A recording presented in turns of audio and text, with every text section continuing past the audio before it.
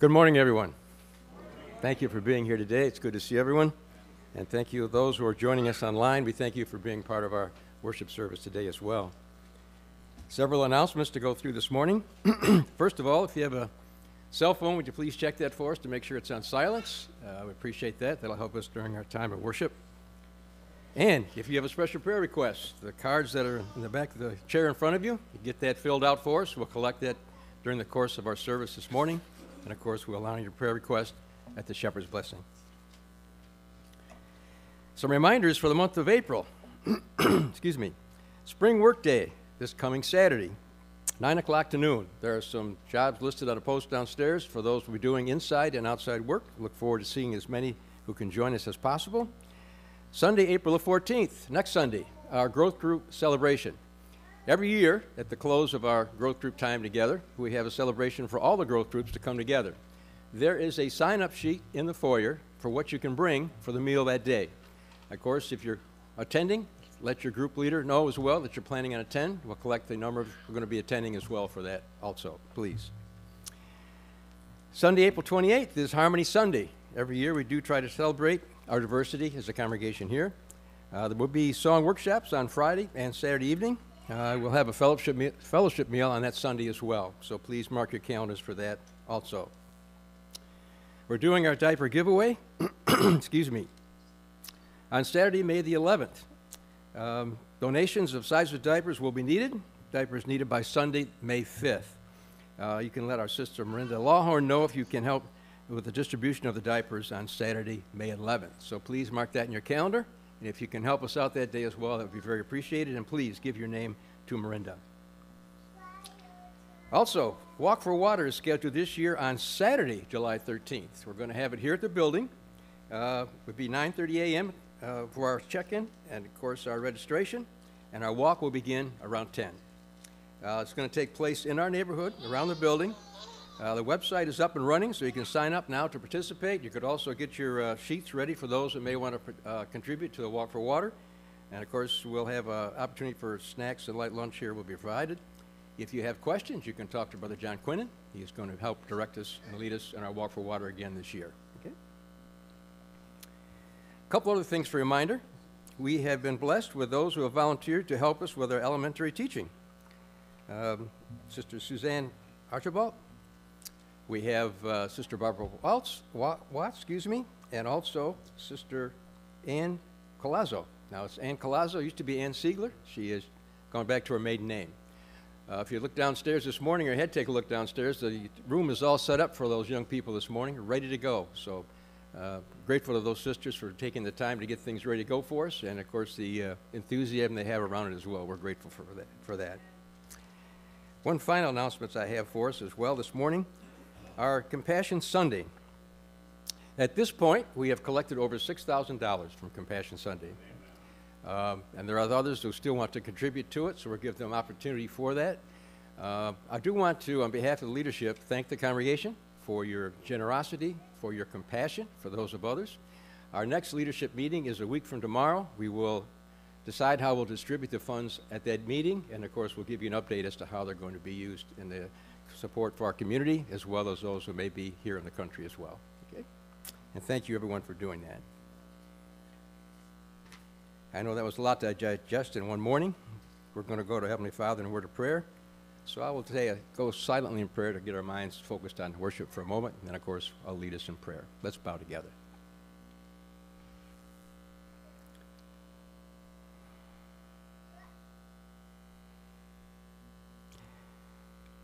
Almighty, most holy Father, humbly we bow before you this day, grateful for, dear God, for the ways that you've guided and directed our lives right up to this very moment. We are grateful we have a time to approach your throne, that we may speak with you, may bring before you our hearts, our thoughts, our intention and purpose this first day of the week. It is always our desire that our worship be honorable before you, and all that we present, of course, brings honor and glory to your name. You are such a wonderful Father, a good God to take care of us continually. Reminded of Jesus, our Redeemer, at your right hand, interceding for us always. Again, dear Father, we're thankful. This moment is made possible by his sacrifice. by his willingness to come and to open our relationship with you again. We thank you. As we lift our voices in song, as we take our time to consider the things that are part of our glory and honor unto you, again, help us to renew our spirits, to strengthen our faith, to deepen the hope that lies within each of us. And as always, Almighty Father, we express our love to you in all that we do. Thank you, dear Father, for being with us. It's in Jesus' name we humbly pray. Amen. Amen.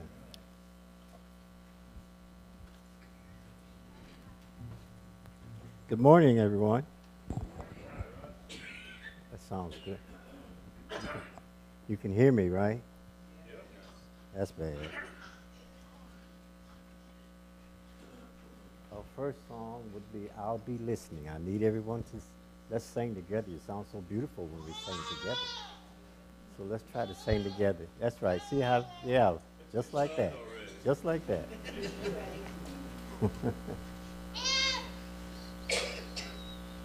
when the Savior calls, I will answer. When he calls for me, I will hear. When the Savior calls, I will answer. I'll be somewhere listening for my name. Oh, I'll be somewhere listening. I'll be somewhere listening. I'll be somewhere listening for my name. Oh, I'll be somewhere listening. I'll be somewhere listening. I'll be somewhere listening for my name. And if my heart is right when he calls me, if my heart is right, I will hear. If my heart is right when he calls me, I'll be somewhere listening for my name. Oh, I'll be somewhere listening. I'll be somewhere listening. I'll be somewhere listening for my name. Oh, I'll be somewhere listening. I'll be somewhere listening. I'll be somewhere listening for my name. If my robe is white when he calls me, if my robe is white, I will hear. If my robe is white when he calls me, I'll be somewhere listening for my name. Oh, I'll be somewhere listening. I'll be somewhere listening. I'll be somewhere listening for my name. Oh, I'll be somewhere listening. I'll be somewhere listening. I'll be somewhere listening for my name. Amen. See, that sounded so wonderful. Got to keep it up for me. What's the next one? There's not a friend. There's not a friend like the Lord Jesus. Amen. There's not a friend like the lonely Jesus singing, no, not a one singing, no, not a one. None else could hear all our souls deep. Jesus singing, no, not a one. I'm singing, no, not a one. But I tell you, Jesus knows all about our struggles. I know He will guide till the day is done. Oh no, there's not a friend like the Lord. Jesus singing, no, not one singing, no, not a one. And friend like there is so high and holy singing, no, not one. I'm singing, no, not one. And yet no friend is so meek and lowly singing, no, not one. I'm singing, no, not a one. And I'll tell you, Jesus knows all about our struggles, and I know He will guide till the day is done.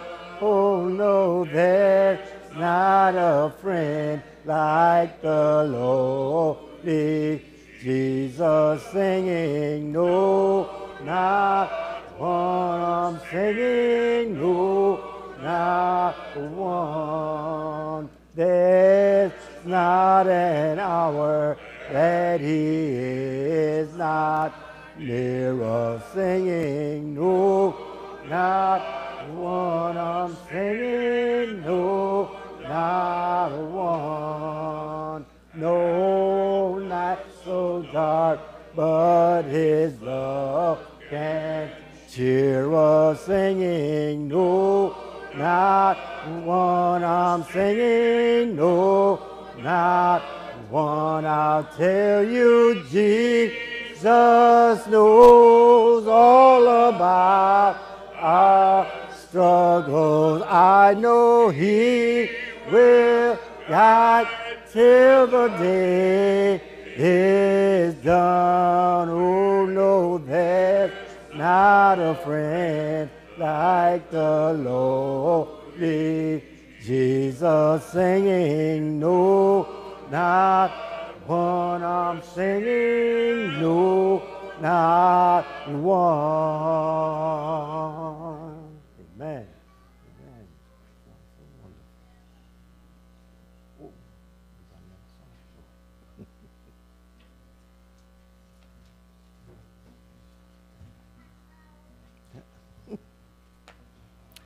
Uh, The first scripture reading today is from Psalms 133. How good and pleasant it is when the Lord, when God's people live together in unity. It is like precious oil poured on the head, running down on the beard, running down on Aaron's beard, down on the collar of his robe, as if the dew of Hermon were falling on Mount Zion. And there the Lord bestows his blessing, even life forevermore. Second reading is from 1 Kings 17, 17 through 24. Sometime later, the son of the woman who owned the house became ill. He grew worse and worse and finally stopped breathing. She said to Elijah, What do you have against me, man of God? Do you come to remind me of my sin and kill my son? Give me your son, Elijah replied.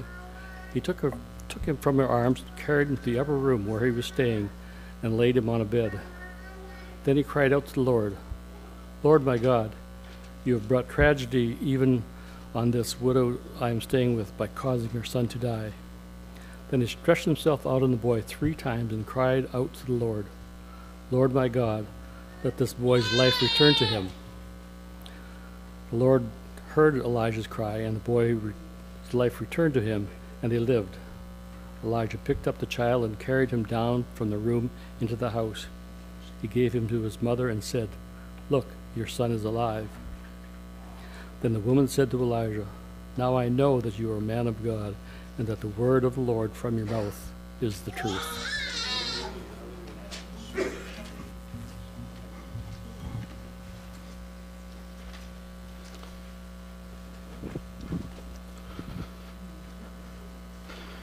Good morning. It's uh, good to have you here. And uh, isn't this great weather for an eclipse, hey? we'll see if it's great weather for an eclipse tomorrow, but it's great weather for an eclipse today. So, uh, uh, yeah. and uh, I do not have an eclipse themed sermon for you today. So uh, I feel like I'm letting the city down in that regard, but uh, you know, I didn't want to jam the traffic, you know, the throughways with uh, with too much traffic. So uh, we'll see see what happens uh, tomorrow. Uh, if you have a prayer card, we'll collect those at, at, this time. And as usual, if you haven't had the chance to write it down yet, we'll do that We'll collect them again later. Um, or if you uh, need to pick up uh, communion cups, uh, there's some here, and there's also some out the double doors at the back there.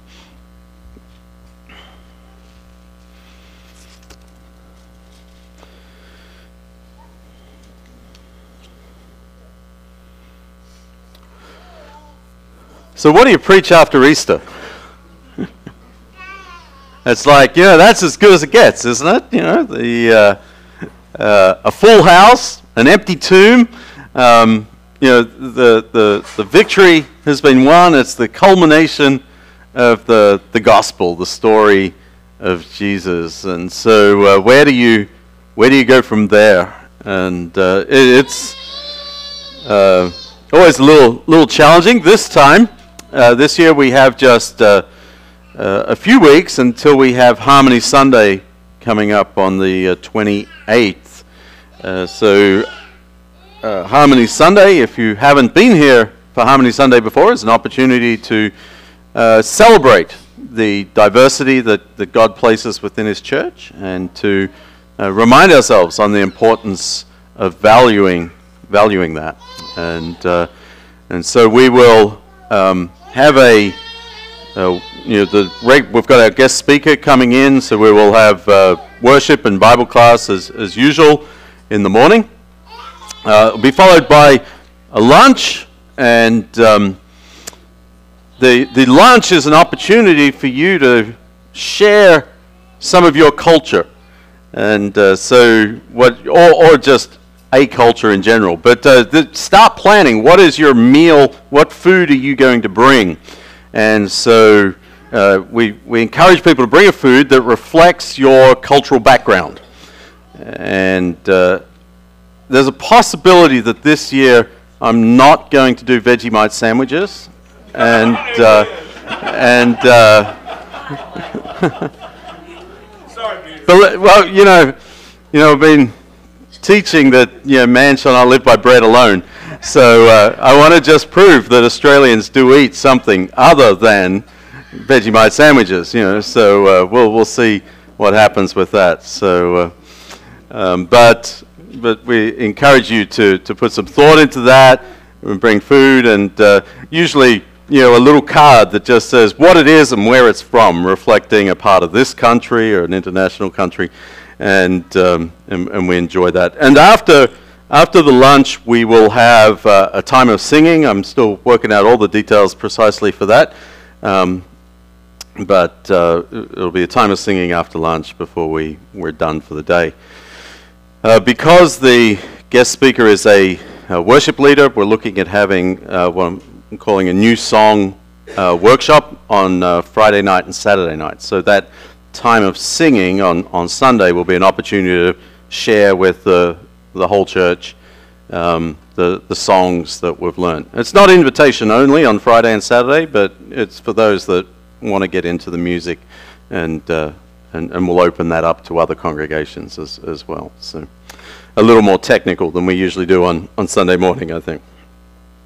So that's what's, what's coming up. So for these few weeks in between now and, and Harmony Sunday, uh, what I'm, I'm going to be focusing on is, is looking at some of the other, I want to say some of the other resurrections in Scripture, but they're, they're really not resurrections. The idea of a resurrection, at least in terms of Jesus, is that Jesus was dead, he came to life, and that's the end of the story, right?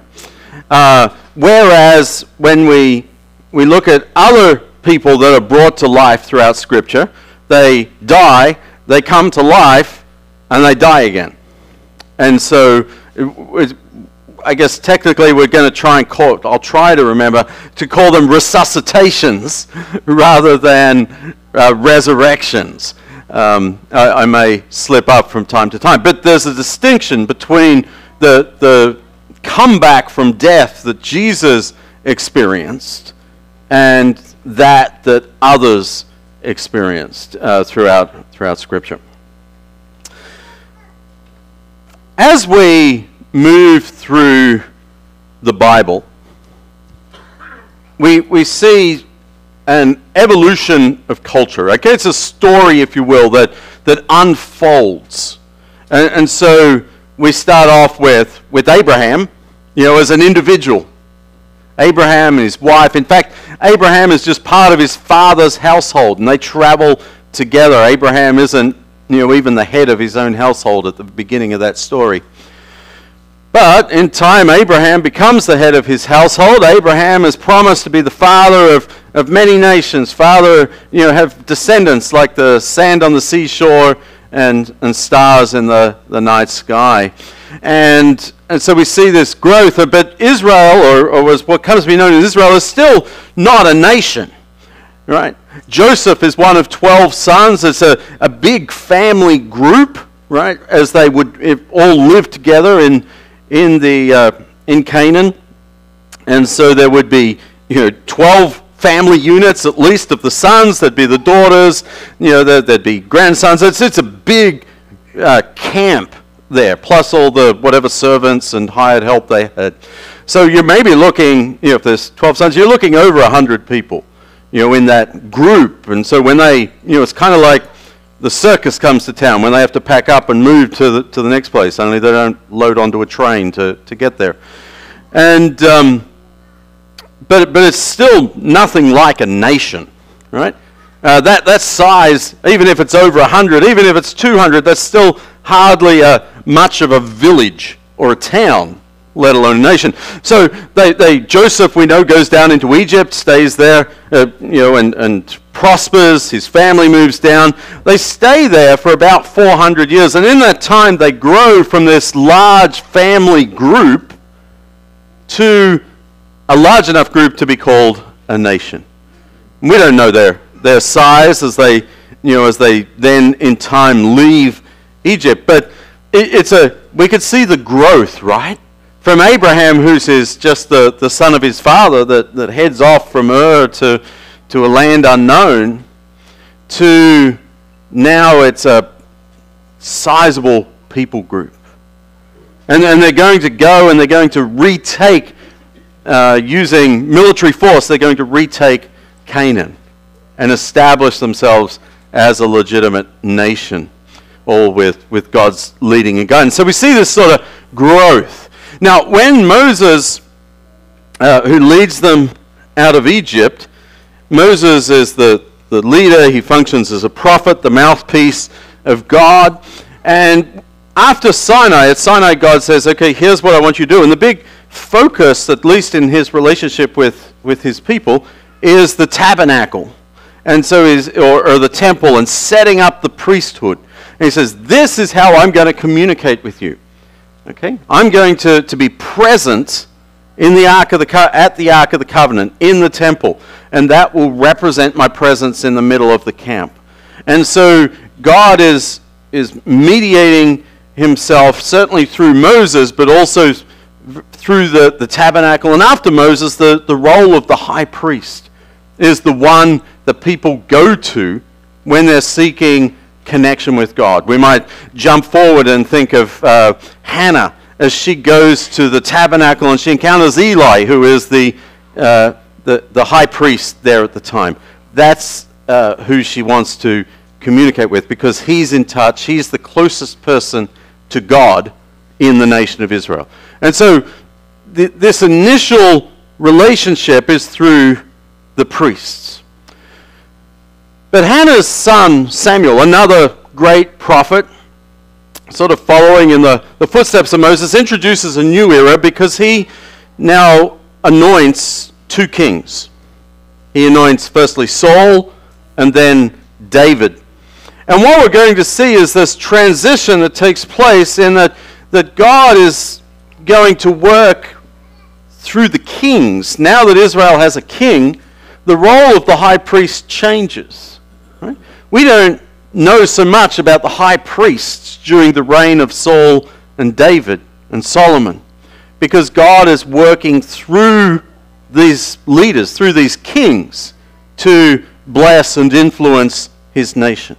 And there are still prophets around that speak into the lives of the kings, but the kings are the primary, um, what am I trying to say? The primary determiner of the welfare of the nation.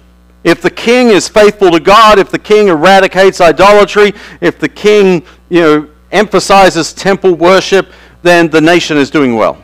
If the king is corrupt, if the king is looking at worshiping idols and, and has no interest in God, then the kingdom, the nation, is open to attack and, and pestilence and plague and whatever else uh, can go wrong. And so the relationship of the king with God becomes central. And then we, we go a step further because the, the kings, particularly in the northern kingdom at this point, um, just become so corrupt that, that God says, I can't even get through to them. And so he sets up, well, we're going to see, uh, he, he brings along Elijah, another of these great prophets. So you have Moses, you have Samuel, you have Elijah. And Elijah really ushers in what we might think of as this period of prophets, where God is now speaking to his people. He's kind of given up on the kings, right? And he, he speaks through his prophets. They become the primary representatives of God to the nation of Israel. You want to know what God wants for the nation? Don't go to the king. Don't go to the king's prophets. Maybe don't even go to the high priest. But find yourself a prophet of God. And then you may get somewhere. You may hear a word from the Lord. And so there's this big uh, transition that takes, and we see this evolving over time. Now, the prophets are still interacting with the kings, just as they'll interact with the temple and they'll interact with the high priest, because they're still encouraging people to go and worship at the temple. But and they'll still confront the kings and say, You're sinning, you're not drawing your people to God, you're not being the leader you should. But they, while they interact with them, they, God is using them uh, more directly than he is the other two officers.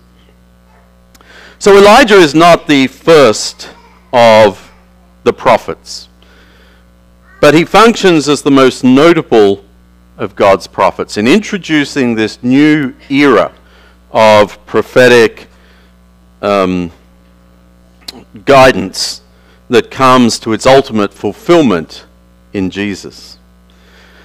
Last week we celebrated Jesus' victory over death, and we'll come back to that a little bit later. Elijah comes to prominence through the uh, during the ministry the ministry during the reign of King Ahab. And so we're going to be in 1 Kings chapter 17 uh, for a little while here. And if you look at the end of chapter 16, we see that Ahab becomes the king, and then in chapter 17, Elijah shows up on the scene. And he's not happy. Chapter 17, verse 1 of 1 Kings Now Elijah Tishbite from Tishbe in Gilead said to Ahab, As the Lord, the God of Israel, lives, whom I serve, there will be neither dew nor rain in the next few years, except at my word. You want any indication that the prophets are kind of taking over the role of the kings? He's like, I'll decide when it's going to rain, or when we're going to get a frost, or the dew's going to fall in the next few years. Now, Ahab, he actually uh, is the son of a guy that we don't know very well. His name is Omri. And you go, who's Omri?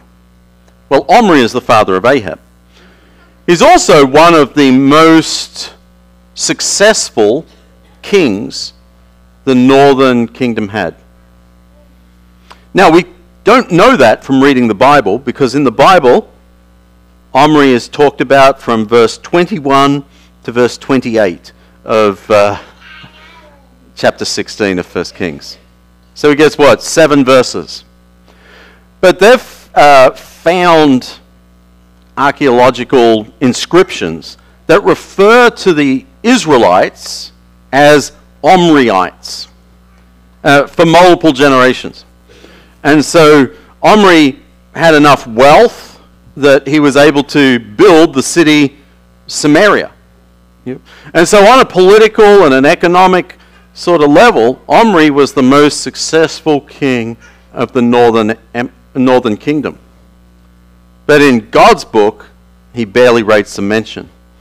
Ahab is his son is not that much is not that great of a king. Doesn't win as many battles. But he's notable. He gets a lot of space in scripture because of his wickedness, because of his ungodliness. One of the things that uh, Omri uh, manipulated or, or, made to happen was that he um, Ahab married Jezebel. And Jezebel is the daughter of the king of Sidon. Okay. Tyre and Sidon are two cities that maybe you've heard of, maybe you haven't. They're in, in, in ancient world, they were the primary cities of Phoenicia. The Phoenicians were a sailing people that went out and spread across the Mediterranean and, and even down, um, yeah, down into Egypt and, and across the Mediterranean. And they established colonies in different places they went. Much later, the city of Carthage, you know, Hannibal and the elephants in the Alps and coming to attack the city of Rome. Um, Carthage was a Phoenician colony um, as they spread out through, uh, through the Mediterranean. Very wealthy um, nation. And today it would sort of be where Lebanon is, if you're trying to picture it. And so Ahab or his dad, whoever arranged this, this marriage with Jezebel, is, is seeking to expand both his military and trading influence in the region. And so, just as Solomon created alliances with um, you know, a lot of other countries by marrying the, the, the daughters of the kings of these other countries. This is what Ahab is, is doing. And just like Solomon, we're told in verse uh, 32 of chapter 16 that um, Jezebel, being a Phoenician, worshipped Baal. And in verse 32 it says, He set up altar for Baal in the temple of Baal that he built in Samaria. And so he, he buys into this Canaanite or Phoenician religion. What made Jezebel different or unique compared to many of the other foreign princesses that were married into the uh, Israel's monarchy is that she wasn't content to worship her God in private. She was very evangelistic. She wanted the whole nation to be worshiping Baal. And, and when you tie the worship of God to the success of or the prosperity of a nation, that sort of makes sense. But she wanted to convert Israel to worshiping Baal, and mostly they did. Baal, or Baal, is the god of the storm, god of the rain. He's kind of like Zeus in the, the Greek pantheon. And, and being the god of the rain means that he's also the god that brings uh, growth to the crops. Okay? So if, Baal isn't on your side, you won't have food to get through the, the dry season. And so in that sense, Baal is also a, the god of fertility. He makes things grow, he brings life to uh, the people that worship him. And so when we, all of that is the sort of the introduction there, that, that Ahab has married Jezebel, who's introducing Baal, and this is who Baal is.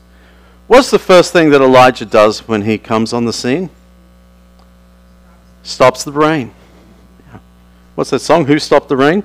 Um, it was Elijah. Um, and it, it was God working through Elijah. So Elijah stops the rain. That is a direct challenge, not only to Jezebel, but to the Canaanite Phoenician god of Baal. Elijah is saying, Yeah, I can turn it on and off. Baal can't.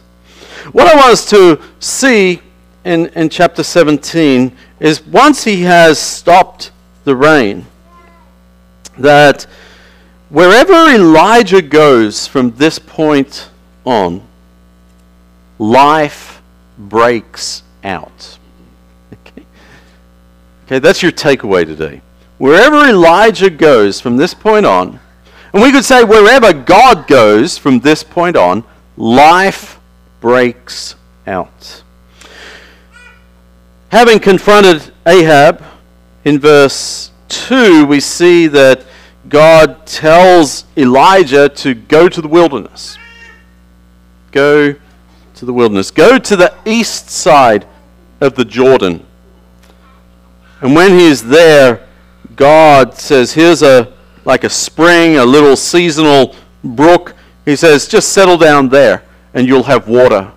And then he sends ravens to bring him food that he can eat. I don't know about you, but I'm not sure how much food I would eat that was brought to me by a raven, right?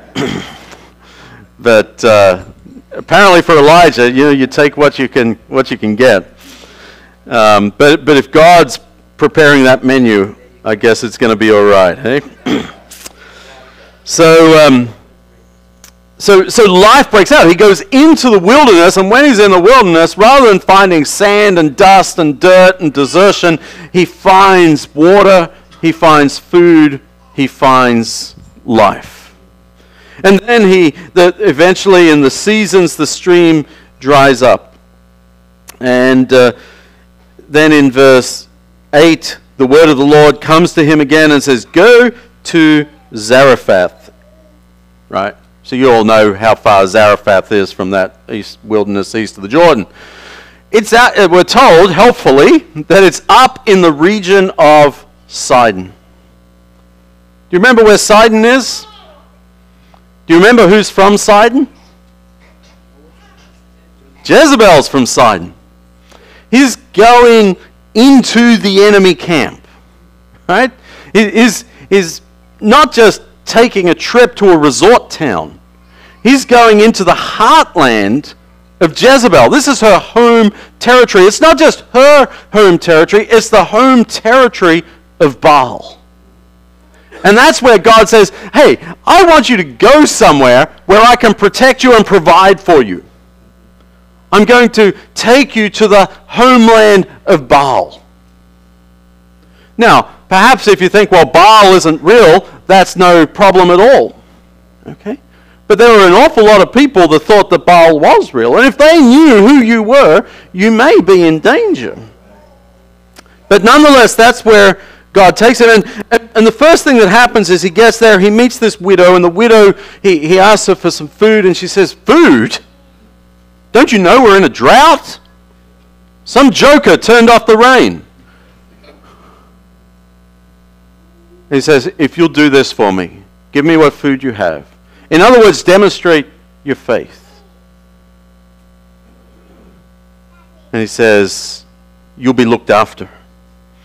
And so we see then that what happens is the, um, in verse 12, as surely as the Lord your God lives, he replied, I don't have any bread, only a handful of flour in a jar, a little olive oil in a jug. I'm gathering a few sticks to take home, make a meal for myself and my son, that we may eat it and die. She's desperate. She's got no hope, no future. All she sees ahead of her is the last meal of oil and flour, and then death. Elijah says to her, Don't be afraid. He goes on and says, Hey, will you use that to make bread for me? And then make something for yourself and your son. In verse 14, this is what the Lord God of Israel says The jar of flour will not be used up, the jug of oil will not run dry until the day the Lord sends rain on the land. And so Elijah stays with this widow. And the, the jar of flour, the jug of oil, never runs dry all the time that he is with her. And there's this miraculous provision. But it's not just flour and oil that he's giving her. Remember where, where she was when he met her? Preparing to die. What, God, what, what Elijah, or God through Elijah, gives her is oil and flour and life. Because wherever Elijah goes, life breaks out. And then having demonstrated that Baal is impotent, okay? Baal doesn't contain the rain. Baal can't give food to people, but God can. Yahweh can control the rain. Yahweh can give food, give life to people. He doesn't even need the rain to do that. And so Elijah has demonstrated this impotence of Baal. He now turns his attention to another god. We don't, it, it's not, doesn't show up a great deal in Scripture, but that is the, the god of death in the Canaanite religion, the god of the underworld. And he has the name of Mot, M O T. And, and as we read just a uh, earlier from Daryl, we see how Elijah goes through this process of bringing this widow's son back from death, from death back to life. Um, so, so let me just explain this to you. Traditionally, these two gods, Mot, the god of death, and Baal, the god of rain and thunder and fertility or life, are perpetually engaged in a struggle, in a battle. They're enemies. And what would happen is that each fall, after the harvest, the god of death would triumph. Okay? Baal would disappear. And but then Baal would be resurrected come the spring. And the spring rains, and, uh, and the crops grow, and the harvest comes in, and they're all praising to, to Baal. And so this becomes this cycle that's always ongoing, this conflict between the two gods. But sometimes there's an extended period of, of drought. And so not only are they locked in this annual battle, annual struggle, but if Baal triumphed in, in a big picture, there would be a seven year cycle of fertility and growth that would ensure. And if he were vanquished by Mot, seven years of drought and famine would ensue. And so when they're in the, a drought and experiencing drought, there's a real chance that the, the Canaanites and the Baal worshippers are going to give the credit to Mot because he's the god of the drought, the god of death, the god of the underworld. And so rather than giving the credit to Yahweh, so Elijah has taken on Baal. Now he, he has death right in front of him. He has evidence of Mot's power and the grief that comes with that, the, the pain and the anguish that that, that brings to, to this mother. And, and then God, through Elijah, goes into the underworld, if you will, and brings that child back, restores life to that person. You see, Mot couldn't keep him. Death couldn't keep him. The underworld couldn't keep him. When Yahweh says, I'm going to get that child, I'm going to get that person, I'm going to bring him back and restore him to his mother, then Mot has no power to resist that. And so Elijah has defeated Baal and now defeats the god Mot. The whole Canaanite way of understanding how the world works has been shattered. The two primary gods responsible for the seasons and for death, for the th- essential th- food, the essential things of life, have uh, been shown to be powerless in the face of God. And so I think that's what's happening here in this story. That God is saying, yeah, Ahab, you want to marry Jezebel, you want to introduce Baal worship. Well, let me show you who I am. Let me remind you who I am. And, and he does that through Elijah. Wherever Elijah goes, life breaks out. I want to take just a moment to show this comparison between Moses and Elijah. Because I think there's a lot of parallels between the two. The plagues that Moses, again, it's always God through Moses, but the plagues that Moses um, poured out on Egypt correspond pretty closely to many of Egypt's gods. Again, Yahweh showing how he could overcome the local deities. Uh, as they come out into the wilderness, Moses and the people of Israel are fed manna by God, right? He gives them food and water in the wilderness. Um, Elijah, fed by God's ravens, as we just, just saw. Uh, Moses leads Israel to Mount Sinai and into covenant with God. He gives the Ten Commandments and he, he says, Israel, will you come into covenant with God? Will you accept these rules? Will you make God your God? Will you be his people? And they say, Yes, we will. And then, if we were to keep reading to chapter 18, there we have the big showdown. This time it's on the top of Mount Carmel uh, between the prophets of Baal and Elijah. But once the prophets of Baal are consumed by fire from heaven, Elijah says to the people of Israel that are present, he says, Okay, what are you going to do? You're going to worship Yahweh? You're going to be faithful to Yahweh or to, um, to Baal? You're going to keep worshiping Baal, um, the god of fire that got consumed by fire, right? So uh, we see there in chapter 18 and verse 36, um, 39. When all the people saw this, they fell prostrate and cried, The Lord, He is God. The Lord, He is God. That's what we call a revival, right? um, and so then in the, the next thing we see in point of comparison is that God appears to Moses on Mount Sinai. Remember when uh, he, passes by and Moses comes down the mountain, his face is glowing, and, and God has said, I can't show you my face because that would kill you, but you can look upon my back.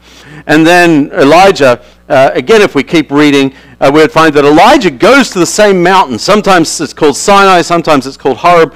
But there, God, Elijah is just despondent. Okay? After the big victory against the prophets, he's despondent. But God says, Hey, I want to show you who I am. Uh, because Elijah is looking for God to continue acting in the fire to continue acting with power. And, and God says, I want you to go into that cave, and, and there's this wind that comes by, there's this fire that comes by. And God says, No, that's not me. And ultimately, God reveals himself, but he does so in a gentle whisper. Sometimes, Elijah, when you're the only one, when the room is quiet, when all you can hear is a whisper, he says, That's me. It doesn't need to be a temple filled with thousands of people for me to be present. But God appears to Elijah much like he appeared to um, Moses and at the same location.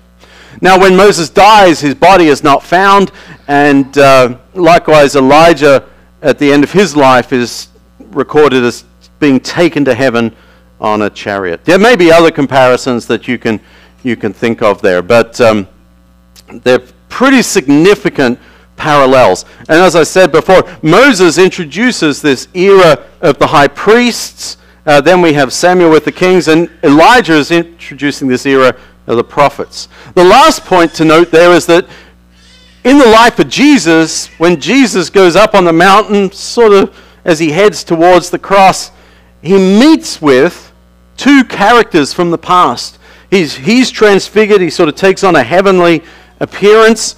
And, uh, and while he's there, he is joined by two people, and those two people are Moses and Elijah.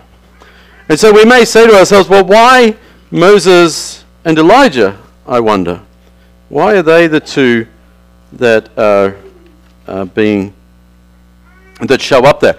Well, let's have a look at this comparison. You could add that, pretend you can see the, the column for Moses.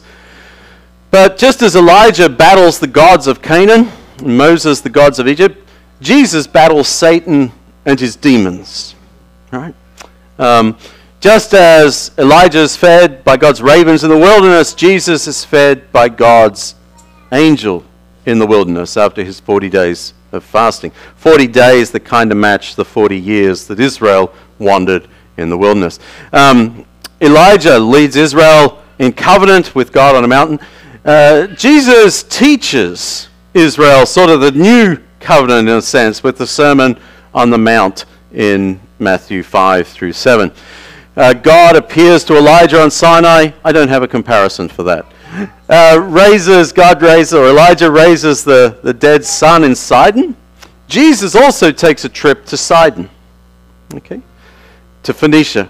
And while he's up there, he casts out a daughter, I believe, of a widow, um, casts a demon out of a, a daughter of a widow, uh, who is persistent in asking Jesus to, to heal her daughter demonstrating faith in, in Christ. Uh, Elijah taken to heaven, Jesus resurrected and ascending, and of course, Moses and Elijah on the Mount of Transfiguration while Jesus was there as well. And so we see this comparison. So when we say that wherever Elijah went, life breaks out, you know what we can say about Jesus? Wherever Jesus goes, life breaks out. Whatever it was that Elijah was able to do, Jesus did and more. Jesus multiplies food. Jesus heals the sick. Jesus raises the dead. Jesus defeats death. Jesus assumes the throne of heaven. Wherever Jesus goes, life breaks out. 1 Corinthians 15 26 tells us that he must reign Okay, Jesus must reign until he has put all enemies under his feet, and the last enemy to be destroyed is death. Because we understand that, yes, Jesus is on the throne of heaven, Jesus is reigning, but all his enemies haven't been defeated, right? Anyone had a bad day this week? Right? That enemy hasn't been defeated, right? It gave you hardship. It might have just been that hip of yours that bothers you every time the weather changes, but it's that hardship that hasn't yet been defeated, but it will be. Because Jesus is on the throne, and, and in time, he will win the victory against every, all of that. But for now, he has won the battle. He's won the conflict and not the war. But it says the last enemy to be defeated is death. I, I view death as our ultimate enemy. It's the last one that Jesus will overcome. But, and that's what gives such significance to his resurrection. Because it says, yes, this, this greatest enemy, the enemy that is introduced as the only consequence God gives at the beginning of the story in, in the Garden of Eden, he says, you take that fruit, and the only punishment that he predicts to them is that you will surely die. And that's why death is then the last one defeated. It's the first consequence, it'll be the last one defeated. Everything else is just filling in the space between. And so Jesus demonstrates through his resurrection that his life is stronger than death. And so it doesn't just when that, if that last enemy is destroyed. The resurrection isn't just a defeat of death, which it is, but it signifies a defeat of everything else. Right? If death is the last thing defeated, everything else has to be defeated beforehand. And so when Jesus says, Yes, I'm going to take this victory, it means that he's taken victory over pain, over suffering, over hurt, over sin, over weakness, over temptation, over you know, my, uh, my sins, my problems, my hardships, everything else that, that is not the way God designed it, we know that it's been defeated because death has been defeated. And it's the last thing. And so, Jesus, where Jesus goes, life breaks out because Jesus is on the throne of heaven. As he was being executed, Jesus' disciple Stephen was given a vision of heaven. And in Acts chapter 7 and verse 54, we read there Stephen, full of the Holy Spirit, looked up to heaven, saw the glory of God, and Jesus standing at the right hand of God. Look, he said, I see heaven open and the Son of Man standing at the right hand of God. Jesus is on the throne of heaven. Sin and Satan are going to try and bring us down. They're going to try and create doubt. They're going to say, hey, if Jesus won, why do you feel this way? If Jesus won, why did that happen? If Jesus won, what's going on in this world? If Jesus, and they'll, they'll, they'll, feed us those questions. They will try to help have us focus on what's wrong in life. They will try to point out our weaknesses and our failures. But just as God defeated the gods of Egypt, just as God defeated the, the, the, the gods of Canaan, as he brought his people out of Egypt, as he restored his worship in Israel, Jesus has defeated Satan and death. Jesus has defeated sin and he's given us grace, mercy, and forgiveness. And right now, he's sitting on the throne of heaven. Little did that boy in Phoenicia all those years ago perhaps realized what God had done for him. Gone into the underworld, defeated the God there, and brought him back. I think that's what the resurrection is, right? That Jesus went into death, defeated whatever was there, came back, and one day he's going to take us with him.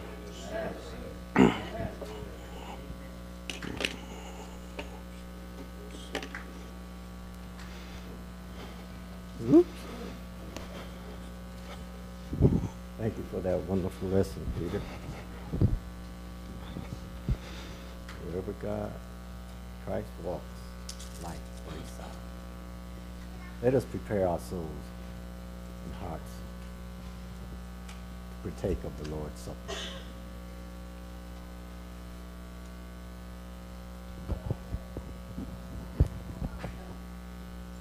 There's a fountain free.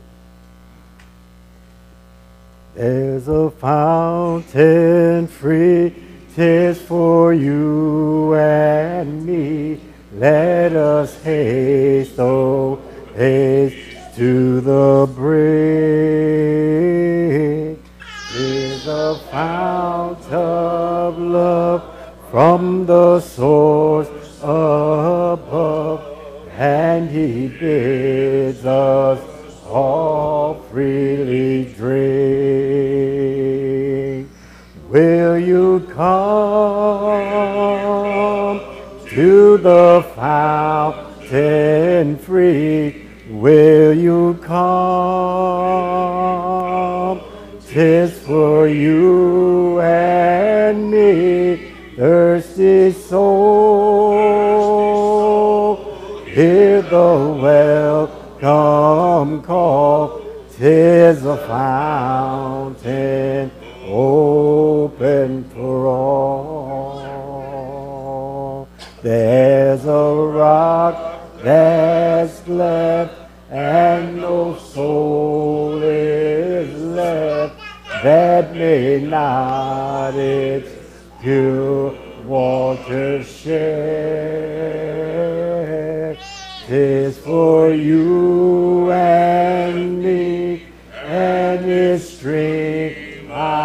I seek. Let us hasten joyfully there. Will you come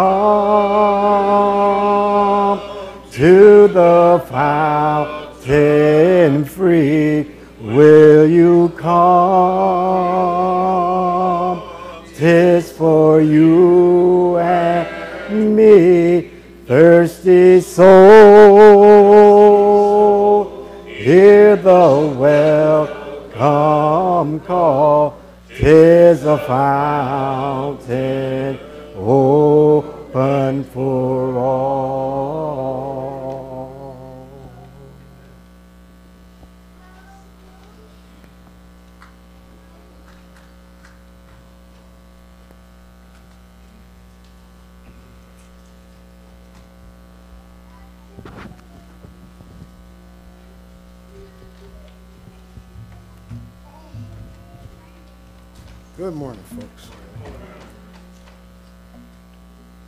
Acts 27. This is uh, Paul is being transported to Rome.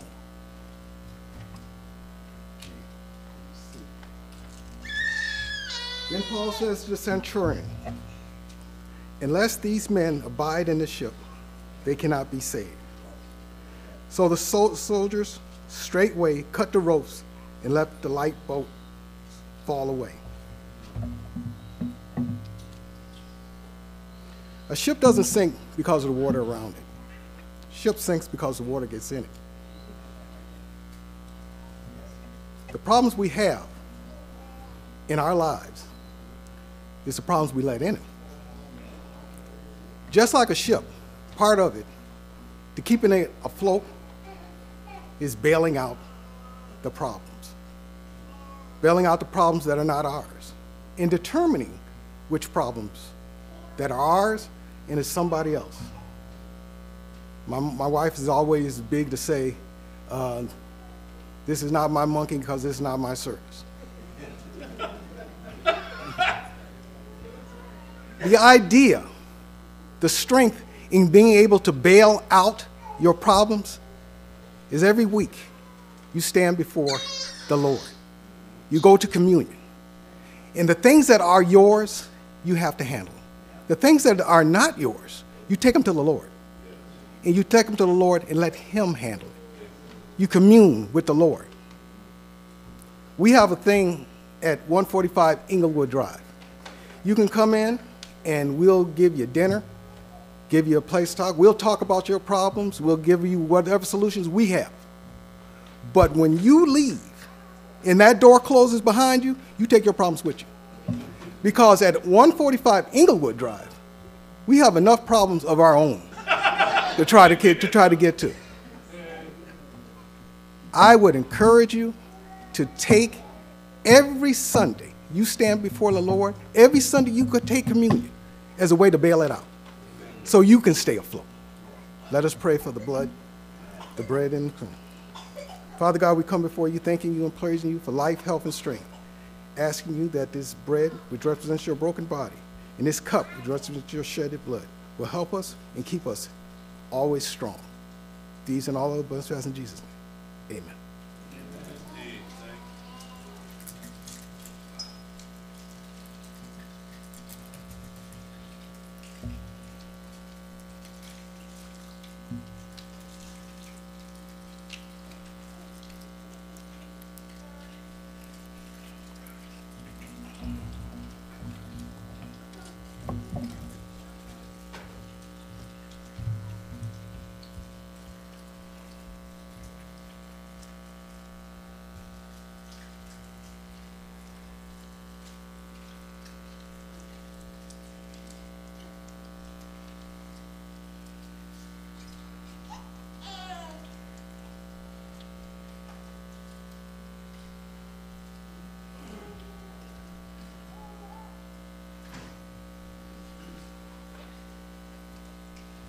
Give thanks to the Lord, For he is good. for he is good. Give thanks to the Lord, For he is good. for he is good. Give thanks to the Lord, For he is good. for he is good. His love endures forever. Everybody give thanks to the Lord, For he is good. for he is good give thanks to the Lord, for he is good. For he is good. Give thanks to the Lord, for he is good. For he is good. His love endures forever. His love will reign, reign forevermore. His power will reign, reign forevermore. His grace will reign, reign forevermore. His peace will reign, reign forevermore. His love will reign. His power will reign forevermore. His love endures forever. Everybody give thanks to the Lord. For he is good. For he is good. Give thanks to the Lord. For he is good. For he is good. Give thanks to the Lord. For he is good. For he is good. His love endures forever. His love will reign forevermore. His power will reign forevermore. His grace will reign forevermore. His peace will reign forevermore. His love will reign forevermore. His power will reign forevermore.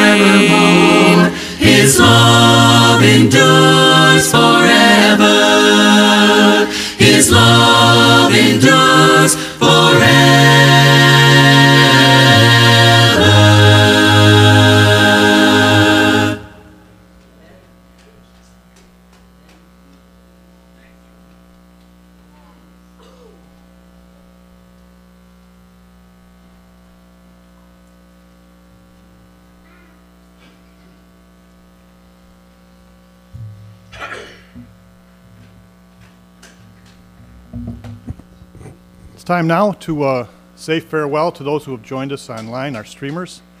Uh, we thank God that they were able to join us, uh, that there's uh, the technology available that they can be with us in spirit, if not in, uh, in uh, physical form. We hope, pray to God that at some time, if it be His will, that they'll join us. So um, we'll also say a prayer now for our offering this morning, as well as the ones that the children are about to bring to us. So let's bow before Him. Holy Father, we thank you, Father, for this time, for the sharing that we've had with those present and with those afar. We pray, Father, that our worship has been pleasing to you, and we thank you, Father, at this time for all that you do for us. And we know, Father, that we can never repay you for the love and the grace that you've provided for us. We ask, Father, that you take our offering this morning that we've prepared and that the children will bring to us, to you. And, Father, we pray that uh, we will spend it to bring glory and honor to your name. Again, Father, we ask you now to bless those that are departing. Be with them this week, Father. Help them, Father, to, uh, to have you focused in their lives, and they bring that focus to those that they share in their world. It's in Jesus' name that we pray. Amen.